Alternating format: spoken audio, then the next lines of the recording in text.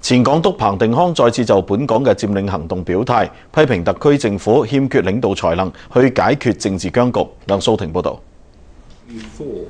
英國國會外交事務委員會就中英聯合聲明在港實施情況，喺當地星期二舉行首個聽證會。回歸前最後一任港督彭定康發言時提到本港嘅佔領行動，佢認為如果政府一早同學生等團體對話係可以避免佔領行動，又批评施放催泪弹同胡椒喷雾无助解决政治僵局。 The Hong Kong police have regularly been regarded as one of the best forces in the world. They're, they're put in the position of being a substitute for a policy.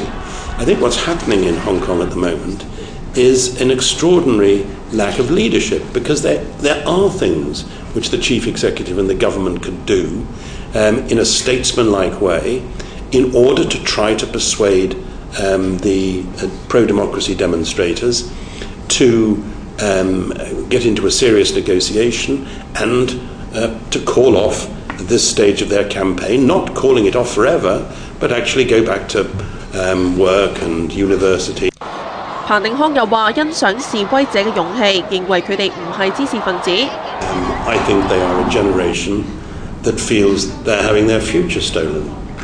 Um, Joshua Wong, who's 17, who's one of the leaders of the students, I think first came to public notice when he was 14 or 15. He said, I'm doing it so that my son doesn't have to do this in 30 years' time. 彭定康又质疑英国系害怕损害同中国嘅贸易关系，而对香港现况袖手旁观。